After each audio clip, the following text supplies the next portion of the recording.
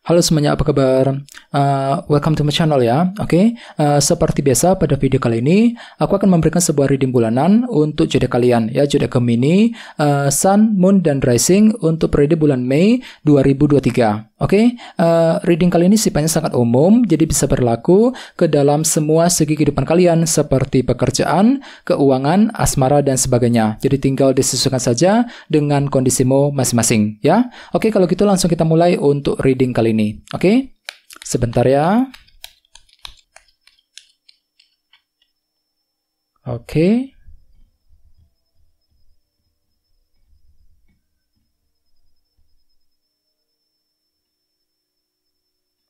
Oke, okay, Gemini sekarang kita mulai. Oke, okay, yang pertama ada kartu 5 pedang. Oke, okay, terus uh, 8 pedang.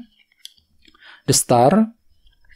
Ace of Wands uh, Queen of Wands, Wheel of Fortune, terus uh, The Hangman, Page of Pentacles, dan terakhir page of swords. Oke, langsung kita bahas. Kita mulai dari kondisi di masa lalumu dulu ya. Past, present, and future. Oke, di masa lalu ada kartu 5 pedang, 8 pedang, dan the star. Jadi ada yang lagi berhubungan dengan bintang Aquarius ya. Oke, jadi ceritanya Gemini beberapa dari kalian untuk bulan April kemarin ya, mungkin ada yang baru saja melewati sebuah ini ya kesulitan dalam rintang atau rintangan kecil dalam kehidupan kalian. Ya, jadi ada suatu hal yang membuat dirimu itu agak sedikit pusing ketika ingin melangkah maju ke depan Gemini ya. Jadi jadi kira-kira apa kesulitan tersebut? Misalnya mungkin ada ada yang pernah mengalami kesulitan keuangan, mungkin kesulitan untuk mencari pekerjaan yang baru, ya kesulitan untuk mendekati seseorang, mungkin lagi kesulitan untuk menyelesaikan masalah keuangan dan sebagainya, ya. Jadi intinya ada kesulitan yang baru saja terjadi sekitar bulan uh, April kemarin dan semuanya itu telah membuat dirimu tuh kepikiran terus jadinya delapan pedang, ya mungkin agak sedikit gelisah gitu ya ketika memikirkan jalan keluarnya, mungkin lagi uh, sibuk mencari solusi baru, ya mungkin lagi kurang pede juga untuk mengejar mengejar target dan tujuan dikarenakan apa? Dikarenakan ada kesulitan uh, Gemini yang baru saja kamu lalui sekitar bulan April ya.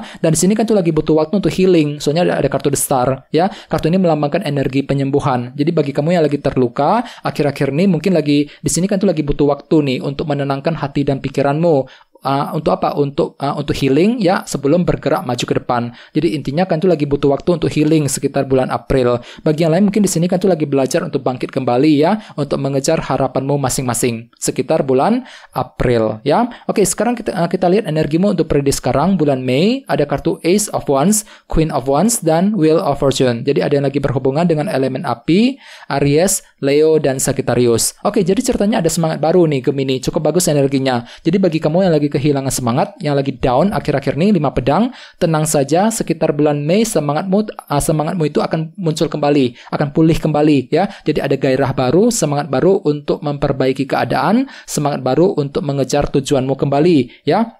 Apalagi di tengah-tengah ada, ada kartu si Ratu Tongkat nih, Queen of Wands. Jadi kan itu lagi penuh dengan ambisi. Jadi kira-kira ambisi apa nih yang ingin kamu wujudkan Gemini? Misalnya mungkin lagi ambisius untuk bekerja, mencari uang, mungkin lagi ambisi untuk mencari pekerjaan yang baru, ya, ambisi untuk memiliki seseorang dan sebagainya. Jadi memang ada ambisi besar yang akan kamu kejar uh, selama bulan Mei, ya. Dan lihat di bawahnya ada kartu Wheel, Wheel of Fortune yang melambangkan roda perubahan. Jadi memang ada semacam perubahan penting yang ingin kamu terapkan di sini, yang ingin kamu jalankan. Untuk apa? Untuk mendapatkan hasil yang terbaik. Soalnya kan itu lagi ambisius banget Gemini, Queen of Wands. Jadi lakukan perubahan yang kamu inginkan untuk mengejar target yang kamu miliki. Misalnya mungkin lagi mengubah caramu ketika mencari uang, mengubah caramu ketika mendekati seseorang, dan lain-lain. Ya, ingat kartu ini melambangkan roda perubahan. Jadi memang ada perubahan yang ingin kamu lakukan segera mungkin ya, sekitar bulan Mei. Ya, oke sekarang kita lihat energimu di masa mendatang mungkin akan terjadi sekitar bulan Juni ya. Ada kartu The Hangman, uh, Page of Pentacles dan Page of Swords.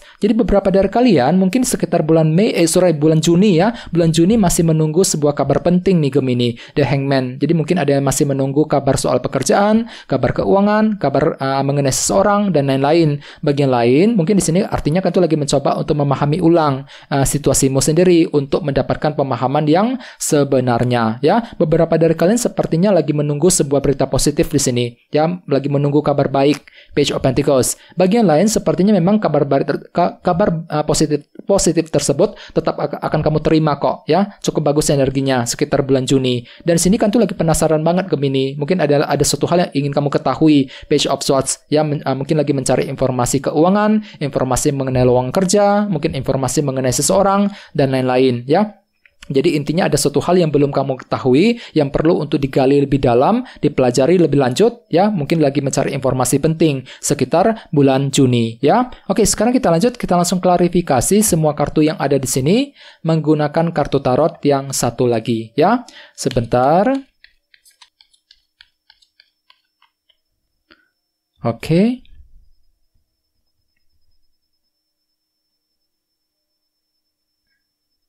Oke Gemini, sekarang kita lihat kartunya. Yang pertama ada 10 tongkat nih, tekanan batin. Ya, memang sekitar bulan April kan kalian itu lagi tertekan sekali Gemini. 10 tongkat dikarenakan apa? Dikarenakan ada kesulitan yang telah menghampirimu. Ya, ya mungkin ada yang lagi mengalami rintangan, kesulitan ketika mengejar target dan semuanya itu telah membuat dirimu itu agak ag agak merasa berat ya tertekan dan berat untuk melangkah maju ke depan. 10 tongkat. Ya oke di bawahnya ada kartu uh, Knight of Swords. Di, uh, di, jadi artinya di sini kan tuh lagi bergerak cepat uh, Gemini sekitar bulan April. Mungkin ada langkah cepat cara cepat yang telah kamu pergunakan untuk mengejar tujuan. Akan tetapi entah kenapa hatimu tuh lagi kurang pede di sini delapan pedang.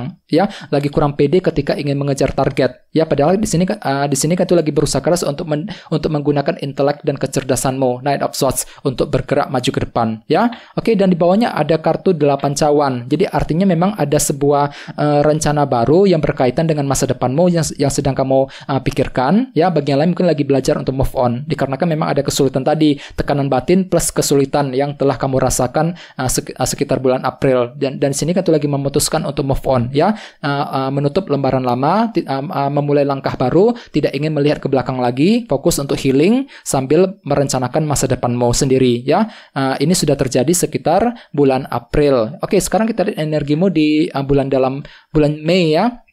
Yang pertama ada kartu 5 koin. Oke, bentuk kekurangan. Jadi sepertinya memang kan itu lagi semangat baru untuk mencari solusi nih Gemini. Ya, walaupun memang hatimu itu masih mengalami kekurangan, namun tetap ada semangat baru. Ya, semangat baru untuk mencari uh, jalan keluar, untuk memperbaiki keadaan tersebut ke arah yang lebih baik. Ya, di bawahnya ada kartu King of Pentacles. Oke, uh, uh, mungkin ada yang lagi berhubungan dengan uh, bintang Taurus, Virgo dan Capricorn. Ya, oke. jadi ceritanya memang kan itu lagi ambisius nih. Ambisius untuk bekerja, mencari uang. Ya, ambisius untuk meng mengejar target, terutama dalam dunia materi, pekerjaan, keuangan, dan keluarga. Dan di bawahnya ada kartu The Star. Oke, kartunya muncul double di sini ya. Jadi memang ada harapan baru.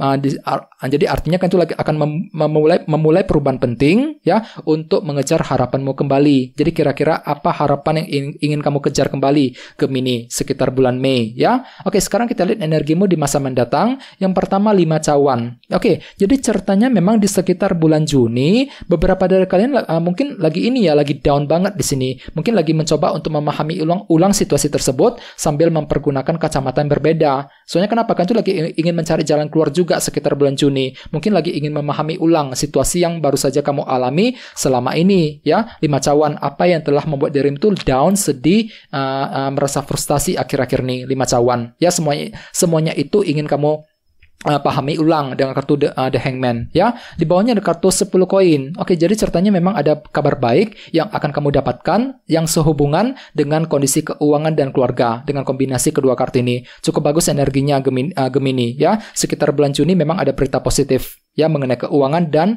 keluarga. Oke, okay? dan terakhir ada kartu dua koin. Oke, okay, pertimbangan mendalam. Di sini kan tuh lagi mempertimbangkan sebuah langkah baru sepertinya, ya dua koin. Namun perlu untuk dipelajari lebih, lanjut, digali dulu informasinya. Page of Swords. Jadi ceritanya kan tuh lagi mencari informasi uh, ke, uh, ketika ingin mempertimbangkan sebuah langkah dan keputusan dengan kombinasi kedua kartu ini. Jadi intinya jangan buru-buru teman-teman, ya cari dulu informasi, bukti dan kejelasan yang kamu butuhkan sebelum mempertimbangkan keputusan keputusan yang terbaik ya sekitar bulan uh, Juni ya. Uh, sementara itu untuk periode bulan Mei bisa dikatakan memang ada ambisi besar Queen of Wands, ambisi besar untuk mengejar target terutama dalam dunia materi ya, King of Pentacles, pekerjaan, keuangan dan keluarga. Bagi yang lain mungkin lagi ingin memulai perubahan di sini ya, perubahan penting untuk mengejar harapanmu kembali ya sekitar bulan Mei ya. Oke teman-teman, uh, guys gitu dulu ya untuk reading kali ini. Uh, semoga readingnya bermanfaat Uh, jika kalian suka dengan video ini, jangan lupa untuk subscribe. Dan sampai jumpa di video berikutnya. Terima kasih. Bye-bye.